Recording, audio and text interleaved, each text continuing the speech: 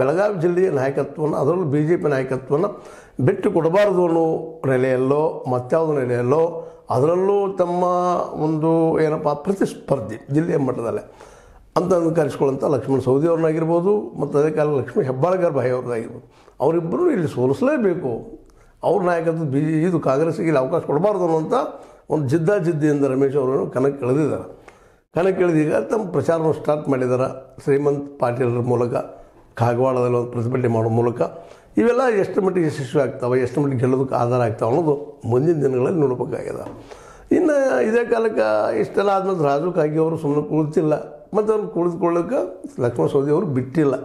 ಯಾಕಂದ್ರೆ ಲಕ್ಷ್ಮಣ ಸೌದಿ ಅವರು ಮತ್ತು ಈಗ ಯಾವಾಗ ರಮೇಶ್ ಅವರು ಅವ್ರು ಕಣಕ್ಕೆ ಇಳಿದಾರೆ ಮತ್ತು ಅವರು ಚಡ್ಡಿ ಹಾಕೊಳ್ಳೋ, ನಾನು ಒಂದಿಷ್ಟು ಕುಸ್ತಿ ಆಡೋಣಪ್ಪ ಅಂತೇಳಿ. ಅವರು ಅದು ಉದ್ಯೋಗ ಮಾಡ್ಕೊಂಡು ಬಂದಂಥ ಲಕ್ಷ್ಮಣ ಸೌದಿ ಅವರು. ಯಾಕಂದ್ರೆ ಈಗ ಏನು ರಮೇಶ್ ಜಾರಕಿಹೊಳಿ ಅವರ ವಿರೋಧವಾಗಿನ ಇವತ್ತು ಮತ್ತೊಂದು, ಅವ್ರ ಮ್ಯಾಲೆ ಬಂದಂಥದ್ದು ಈಗ ನಾವು ನೋಡಿದ್ವಿ. ಹೀಗಾಗಿ ಲಕ್ಷ್ಮಣ ಸೌದಿ ಅವರು ಇದಕ್ಕೆಲ್ಲ ಏನು ಮಾಡ್ಬೋದು ಅಂತ. ರಾಜುಗಾಗಿ ಅವರಂತೆ ಶೆಡ್ ಹೊಡೆದು ಹೇಳಿಬಿಟ್ರು. ನಾನು ತಯಾರಿದ್ದೀನಿ ಭ್ರಷ್ಟಾಚಾರ ತನಿಖೆ ಆಗಲಿ, ಮತ್ತೇನಿದ್ರು ಆಗಲಿ ತನಿಖೆಗಳು. ನಂದೇನಾದರೂ ಸಿಕ್ಕರೆ, ಮತ್ತೇನಾದ್ರು ಆದ್ರೆ ನಾನು ರೆಡಿ ಇದ್ದೀನಿ. ಮೊದಲು ರಮೇಶ್ ಜಾರಕಿಹೊಳಿ ಅವರು ತಮ್ಮ ಒಂದು ಬಾವಿಯಲ್ಲಿ ನೋಡ್ಕೊಳ್ಳಿ ಯಾಕಂದ್ರೆ ಅವರ ಒಂದು ಗೋಕಾಗದ ನೋಂದಣಿ ಆಫೀಸ್ನಲ್ಲಿ ಇವರ ಚೀಟಿ ಇಲ್ಲದೆ ಏನೂ ಆಗುವುದಿಲ್ಲ ಅನ್ನೋದು ಗಂಭೀರವಾದ ಆರೋಪವನ್ನು ಮಾಡಿದ್ದಾರೆ.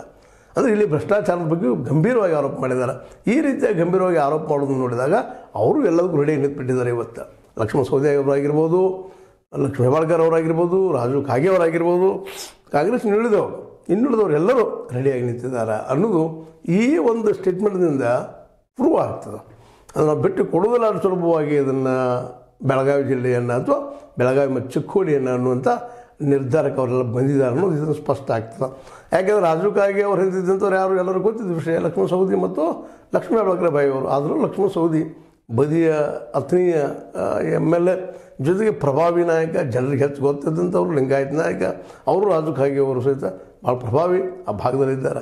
ಹೀಗಾಗಿ ನಾವು ಇದು ಬಿಟ್ಟು ಕೊಡ್ಕೊಳ್ಳೋದು ಅನ್ನುವಂಥ ಮಾತನ್ನು ಅವರು ಮಾತಾಡಿದರೆ ಅವರು ಶೆಡ್ ಹೊಡೆದ್ದಾರೆ ಇವತ್ತು. ಹಾಗೆ ಹೋಗಲಪ್ಪ ನಮಗೂ ನಿಮಗೂ ಏನಾಗ್ತದೆ ಆಗಲಿ ಅಂತಾರೆ. ಯಾಕಂದರೆ ಈಗಾಗಲೇ ಹಿಂದಿನ ಚುನಾವಣೆಯಲ್ಲಿ, ವಿಧಾನಸಭಾ ಚುನಾವಣೆಯಲ್ಲಿ ನೋಡಿದ್ದೀವಿ, ನಾವು ನೋಡಿದ್ದೀವಿ, ನೀವು ನೋಡಿದಿರಿ. ರಮೇಶ್ ಅವರು ಮತ್ತು ಲಕ್ಷ್ಮಣ್ ಸೌದಿ ಅವರು ಯಾವ್ಯಾವ ರೀತಿಯಾಗಿ ಒಬ್ಬರಿಗೆ ಟಕ್ಕರ್ ಕೊಟ್ಟರು, ಏನು ಮಾಡಿದರು ಅಂತೇಳಿ ಮತ್ತು ರಮೇಶ್ ಅವರಂತೆ ಅಲ್ಲಿ ಟೆಂಟ್ ಹೊಡೆದು ಟೆಂಟ್ ಹೊಡೆದು ಬಿಟ್ಟಿದ್ರು ಹೊತ್ತನೆಯಲ್ಲೇ ಮತ್ತು ಅದೇ ಅದೇ ರೀತಿಯಾಗಿ ಕುಮಟಳ್ಳಿ ಅವ್ರನ್ನ ಗೆಲ್ಲಿಸಿಕೊಂಡು ತರಲೇಬೇಕಂತ ಹಠ ಮಾಡಿದರು. ಮತ್ತು ಅದೇ ಕಾಲಕ್ಕೆ ಜಿಲ್ಲೆಯಿಂದ ಮತ್ತು ನಾನು ಹತ್ತು ಹದಿನೈದು ಸೀಟ್ಗಳು ತೊಗೊಂಡು ಬರ್ತೀನಿ, ಹದಿನೆಂಟರಲ್ಲಿ ಅನ್ನುವಂಥ ಆ ಒಂದೇನೋ ಒಂದು ಆಶ್ವಾಸನೆ ಕೊಟ್ಟಿದ್ದರು ಶಾ ಅವ್ರಿಗೆ. ಅದು ಆಗದೆ ಹೋಗಿದ್ದಕ್ಕಾಗಿ ಆ ಸಂದರ್ಭದಲ್ಲಿ ಆದಂಥ ಒಂದು ಒಂದು ಸೋಲಿನ ಸೇಡನ್ನು ಈ ಸಲ ತಗೋಬೇಕು ಲೋಕಸಭೆಯಲ್ಲಿ. ಲೋಕಸಭೆಯಲ್ಲಿ ಎರಡೂ ಕ್ಷೇತ್ರದಲ್ಲಿ ಮತ್ತೆ ನಾವು ಬಿ ಜೆ ಪಿ ತರಬೇಕಂತೇಳಿ. ಮತ್ತು ಅದು ತಮ್ಮ ನೇತೃತ್ವದಲ್ಲಿ ಅಥವಾ ನಾಯಕತ್ವದಲ್ಲಿ ಅನ್ನೋದು ಬಹಳ ಮುಖ್ಯದ ಅನ್ನೋದು ನೆನಪು ಮಾಡೋ ಸಲುವಾಗಿ ಇವತ್ತು ಬಿ ಜೆ ಪಿಗೆ ಹೈಕಮಾಂಡ್ ಒಪ್ಪಿಗೆ ಗೊತ್ತಿಲ್ಲ. ಇರ್ಬೋದು ಇದ್ದರೂ ಇಲ್ಲ ಅಂತ ಹೇಳಕ್ಕೆ ಆಗೋದಿಲ್ಲ. ಯಾಕಂದರೆ ನೇರಾನೇರವಾಗಿ ಚಾರ್ ಅವ್ರ ಜೊತೆ ಸಂಪರ್ಕದಂತೇಳಿ ಅವರು ಹೇಳ್ಕೊಳ್ತಾರೆ. ಹೀಗಾಗಿ ಈಗ ಕೆಲಸ ಅದು ಶುರು ಮಾಡಿದ್ದಾರೆ ಇನ್ನು ಇಲ್ಲಿ ಲೋಕಲ್ ಬಿ ಜೆ ಪಿ ಕಾರ್ಯಕರ್ತರು ಅಥವಾ ಲೀಡರ್ಗಳು ಅಂತ ಕರೆಸ್ಕೊಳ್ಳೋರು ಎಷ್ಟರ ಮಟ್ಟಿಗೆ ರಮೇಶ್ ಅವ್ರಿಗೆ ಸಾಥ್ ಕೊಡ್ತಾರೆ ಅನ್ನೋದು ಅಷ್ಟು ಮುಖ್ಯ. ಇವ್ರು ಸಾಥ್ ಕೊಡಲಿ ಬಿಡಿ ನನ್ನ ಕೆಲಸ ನಾನು ಮಾಡ್ತೀನಿ ಅಂತ ಒಂದು ಏನೋ ಒಂದು ಹಠಮಾರಿತನೂ ರಮೇಶ್ ಅವರ ಒಂದು ಈ ಈ ಒಂದು ಆರಂಭದಲ್ಲಿ ಕಂಡು ಬರ್ತಾ ಇದೆ. ನಾನು ನಾನು ಕೆಲಸ ಮಾಡ್ತೀನಿ. ಬೇಕಾದ್ದಾಗಲಿ ಅನ್ನುವಂಥ ಮಾತು ಅವ್ರ ನಡೆ ನುಡಿಯಲ್ಲ, ಅವ್ರ ಬಾಡಿ ಲ್ಯಾಂಗ್ವೇಜಲ್ಲಿ ಕಂಡು ಬರ್ತದೆ. ಮತ್ತು ಅವ್ರು ಮೊದಲಿಂದಲೂ ಹಾಗೆ. ಯಾವುದೇ ವಿಷಯವನ್ನು ತಮ್ಮ ಮೂಗಿ ನೀರಿಗೆ ತೆಗೆದುಕೊಂಡ್ರಪ್ಪ ಅಂತಂದ್ರೆ ಅಲ್ಲಿ ಸಾಧಿಸಲೇಬೇಕು ಅನ್ನೋಂಥ ಜಿದ್ದಾಜಿದ್ದಿ ರಾಜಕಾರಣ ಮಾಡ್ಕೊಂಡು ಬಂದಂಥವ್ರು ಅದರ. ಈ ಸಲನೂ ಅವರು ಸುಲಭವಾಗಿ ತಮ್ಮ ಒಂದು ಹಿಡಿತವನ್ನು ಬೆಳಗಾವಿ ಜಿಲ್ಲೆ ಮೇಲೆ ಬಿಟ್ಟುಕೊಳ್ಳಿಕ್ಕಿಲ್ಲ ಅಂತ.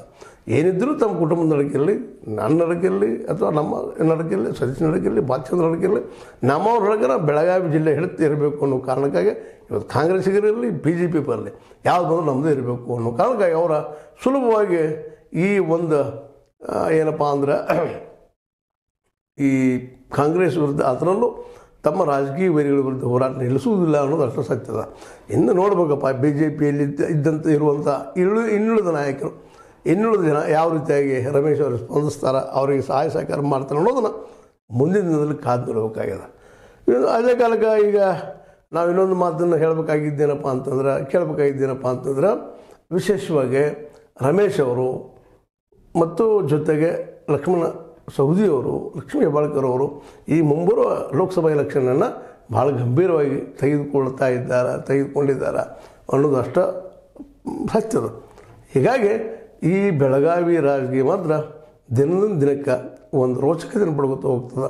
ಮತ್ತು ಏನು ಪಡೆದ್ರು ಇಲ್ಲಿ ನೋಡುವಂಥದ್ದು ಏನಪ್ಪ ಅಂತಂದ್ರೆ ಇವ್ರೊಳಗೆ ಇವತ್ತು ಒಂದು ಕಡೆ ಹಿಂದುಳಿದ ಒಂದು ಅಹಿಂದ ಸಮುದಾಯದ ಪ್ರತಿನಿಧಿಯಾಗಿ ರಮೇಶ್ ಅವರು, ಇನ್ನೊಂದು ಕಡೆ ಲಕ್ಷ್ಮಣ ಸೌದಿ ಅವರು ಲಿಂಗಾಯತ ಸಮುದಾಯದ ಪರವಾಗಿ ಇಬ್ಬರು ಏನೋ ಒಂದು ಚಾಣಕ್ಯತನದ ಹೆಜ್ಜೆ ನೀಡ್ತಾ ಇದ್ದಾರೆ. ಇದರಲ್ಲಿ ಯಾರು ಗೆಲ್ತಾರ ನೋಡ್ಬೇಕಾಗಿದೆ? ಯಾರಪ್ಪ ಜಿಲ್ಲಾ ಮಟ್ಟದ